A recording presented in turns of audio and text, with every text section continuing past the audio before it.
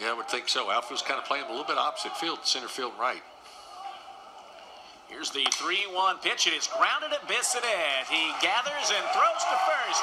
And Hayden Kettler shrugs off a bases-loaded rally and keeps this game scoreless as we head to the bottom of the.